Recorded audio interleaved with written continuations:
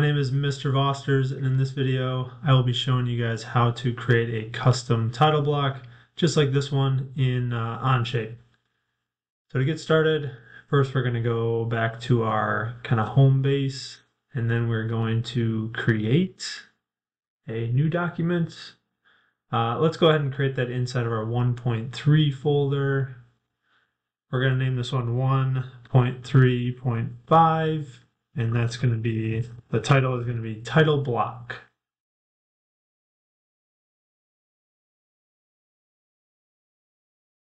From here, we're not actually going to make any parts. We're just going to go straight over to the new tab option and we're going to create a new drawing. Uh, since we want to be able to put this on an 8.5 by 11, we're just going to leave it as a ANSI A inch and we're going to select no views and click OK. From here, we're going to uh, X out of this, X out of this, and we're going to actually be doing some drawing in this space.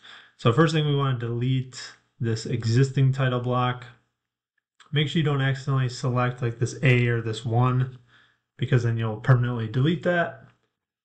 Once you've got everything highlighted that you want, click the delete key and then we're going to go ahead and start drawing some lines. Now, the unfortunate thing with uh, the drawing page, you can't really dimension things or put things in certain places like we would in a part studio. So we don't have our constraint features or anything like that. So we're going to have to kind of eyeball this. I like to put it uh, a little bit below the A over on the left here and we're just going to go straight across. It does still luckily snap to horizontal. So we're going to go all the way over. And then once we see that little symbol pop up showing that we are uh, intersecting that line, we'll click to finish. Then it's going to want to keep drawing lines. So we can hit the escape key to prevent that from happening. Then we're going to take our line tool again and we're going to create a little uh, square over here on the left side. So kind of estimate where a square is. I like to go maybe halfway between the corner and the two. So right there maybe, and then go straight up, click. And we can always go back and adjust this later. This will give us a good starting point. And then we're going to try to divide this section into three different lines. So again, you're going to have to eyeball this a little bit. We can adjust later. If there's any issues, hit the escape key, go back up, create another line, and go all the way over to the other side. It looks like I luckily did a pretty good job and we can use this to start populating everything. Uh, last thing we want to do is do a line tool again and we're going to divide this horizontally into three different sections. So maybe like right between the two and here, we'll put another line and then we'll go straight down hit escape, come back up to the line key or the line button, and then we'll divide this in half. So we'll be maybe a little bit to the left of the one, or kind of close to the one actually, and then go straight up or straight down, depending where you started your click. Okay, from here, uh, I'm thinking I may need to expand this over a little bit to the right, but let's go ahead and try putting our logo in there. So you'll have to download this to your computer and then uh, you can click the import option here. So I already have it downloaded in my downloads folder. So if I go over to Germantown Warhawks, click open, it should upload and then it'll show it over here. I can select it and then I can actually kind of click and drag to put it in position. I'm going to adjust it a little bit so it's inside my square. And I think that actually will be fine because when we're zoomed in a little bit more, we can actually see it pretty nicely. From here, we are going to actually adjust this a little bit. We want this to come down so that we have a full line so here, I want to make sure this is going vertical. Sorry about that. So this whole top uh, line we want to be uh, undivided. And then we're going to create a note. So I went up here and click the note option, or you can hit the N key.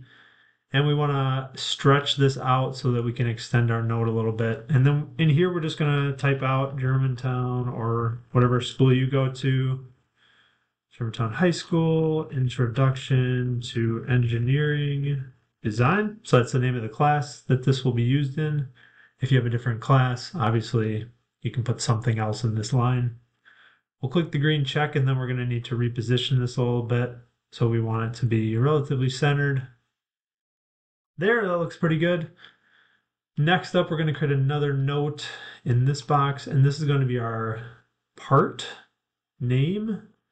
So we'll type out part colon, and then we're going to actually use these uh, insert features. So I'm going to insert the name, and right now it's going to be empty. You can just see it's got like four little dashes.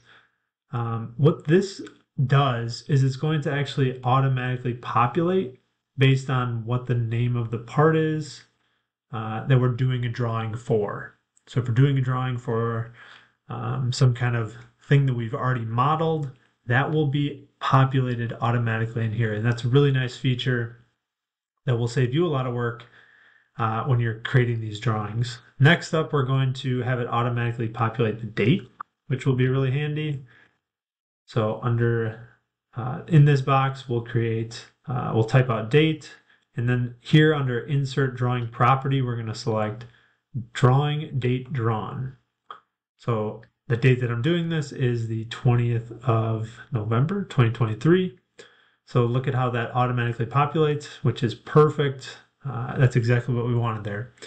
Another nice thing to have is who drew the drawing. So we'll do drawn by, sorry, a little typo there, drawn by, colon, space, and then we will insert drawing drawn by uh, to make it auto-populate. So it'll put my name in there, when you do this, it should put your name in there. It's a really nice thing to have. Next up, we're going to put the name of the drawing. So we'll do drawing name, colon, space, and then drawing name. This one is just drawing one, and that's taking it directly from here. So let's see if I can get that to update. So if I'm going to rename this title block, it should automatically update right here. And then last, we're going to do our scale. So that's the um, scale for your actual drawing. So whether it's one to one, one to two, one to three, and so on, uh, this will automatically populate it. So you'll select sheet scale. And we haven't given a sheet scale. So this will just be blank for now. And then lastly, we will uh, put the sheet number and we haven't really done any multiple sheet drawings, but we certainly could in the future. So here we want to put our sheet number, and then after our sheet number, we're going to list the total number of sheets. So let's do backslash, and then we'll do total sheets. So not only will it populate the sheet number for this drawing, it will populate the sheet, the total number of sheets that we have in our drawings. So I'll click the green check and hit escape to get out of that. And we're pretty much done with the title block. We just need to do a few things to make sure that it is usable for us in the future. So from here, we're going to right click, export, select DWT. So yours may have been on PDF. We've done a lot of exporting of PDFs. We're going to do DWT. File name should be title block. You can put your name after it if you'd like. But if you want to just leave it as title block, that is fine. We will click the export button. And then we're actually going to leave this file. We're going to go back to our Onshape documents, go to owned by me, and then we're going to do import files. So under import files, we're going to select our DWT file that we just exported when we click open there, it should upload it into your documents. And now, when I go to, let's say, create a new drawing, let's go into one of our recent things that we did. This is 1.3.4. we were drawing this little screwdriver uh, holder, little base thing. And we had this title block here. That's our, our default one from the ANSI A template. If we went back to our Part Studio 2 and tried to create a new drawing, we should be able to go to created by me and we'll see that new template or the one we just created in here. If I select four views, we should see that title block actually be populated now automatically. And we should see it have our little logo with our four views here. And that's exactly what we do see.